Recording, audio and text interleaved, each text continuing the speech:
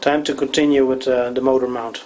Last uh, video was a bit of a disappointment, but I think I got those problems uh, solved now. Let's see, uh, what did I do? Um, first I reversed the current, which made a huge difference. The uh, motor somehow isn't uh, bumping around as much when running in the right direction. I don't know why. That still got me puzzled. And then I replaced the bearings. I was hoping that uh, that would make a difference, but it didn't. Next I placed some uh, rubber pads under all the, the corners of the lathe, hoping that that would dampen any vibration. No noticeable change there.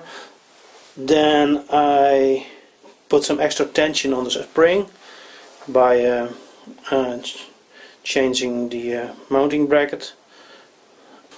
Then I tried a few different uh, belts and they were all used ones and they didn't uh, make much difference.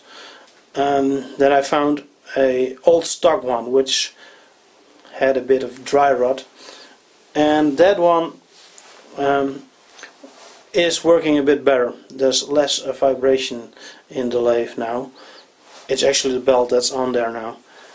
Uh, I also found out with this uh, belt that the grooves in uh, my pulley weren't deep enough so I also had to recut those.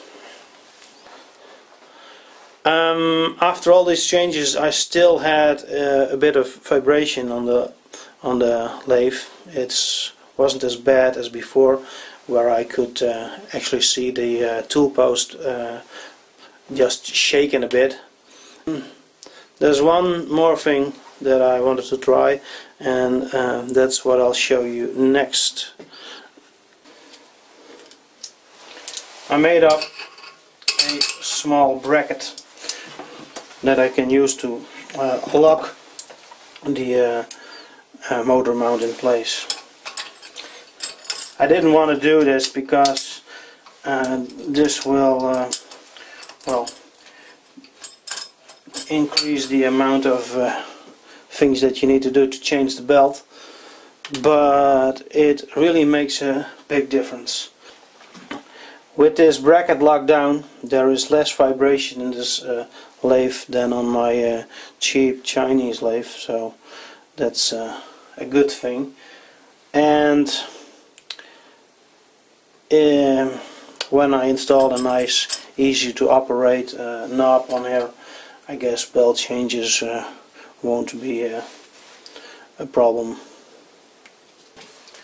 I'm going to demonstrate uh, the uh, the effect of this bracket so I'll run the lathe and you can see it uh, uh, the mower moving around and then I will lock it up and you hopefully see the difference.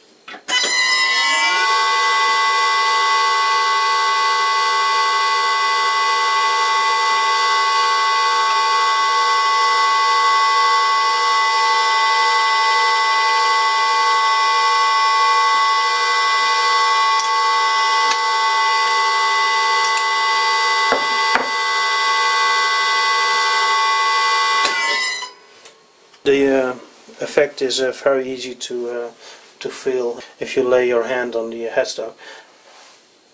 I think maybe a new belt uh, might make a difference because this one has a bit of dry rot although I do think it's getting better. I guess it's loosening up a bit. So now I'm gonna measure the speed for um, all three pulley settings at uh, different frequencies starting with uh, 10 Hertz. Okay, here we go. This is uh, 10 Hertz.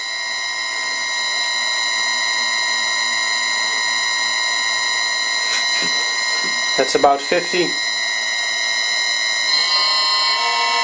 It's 20 Hertz. About, about 100. 30 hertz about 150 40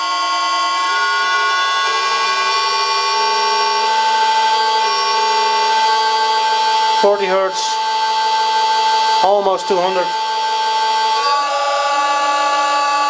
50 hertz, almost 250, and 60 hertz, about 290.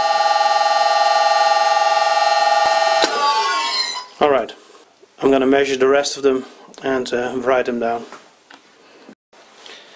And here are the uh, results. I uh, especially like the ones for the uh, fastest uh, pulley uh, combination. I averaged things out to half a decimal. So that really worked out nice. Um, I don't think that 10 Hertz will be uh, all that usable. There won't be a, a lot of power. 20 Hertz might also be a problem. But I think this is a nice range for um, for uh, these uh, plain uh, copper bearings. And I can always go faster than 600 by uh, overdriving the uh, motor a bit more it's now uh, limited at 60 Hertz but I think I can go to 120 Hertz. Um, but that will be too much. 70 80 Hertz I don't think that will be a problem for these uh, motors and these bearings. But uh, running faster than 600 I don't think it will be uh, I'm not sure if these bronze bearings can take it um, let's see if I can uh, stop this thing uh, running at uh, 10 Hertz.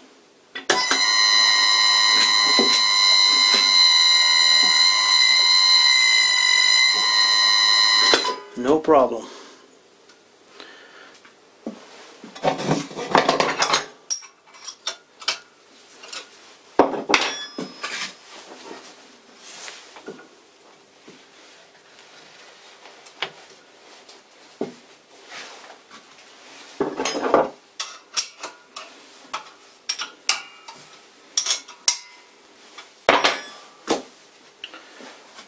Alright, let's try again.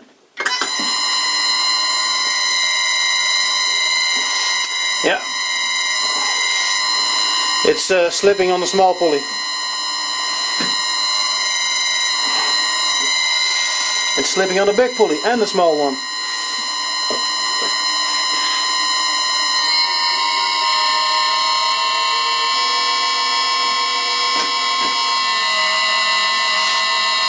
Hmm. Um, there might be a bit oil on the belt because the oil from the uh, bearing is leaking down here. So when you change the belt you can uh, get some oil in there. Because when I tried this before I wasn't able to stop it. So I'm a bit surprised that uh, I can stop it uh, that easy now. Let's try the big one as well.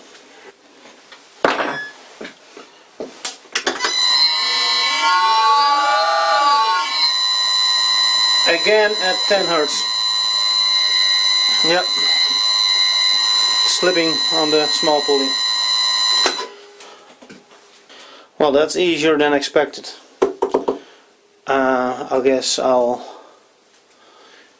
um, well once I got that new belt I'll try again. Well that's it for now. Next uh, will be some test cutting after I uh, adjust uh, the bearings as good as I can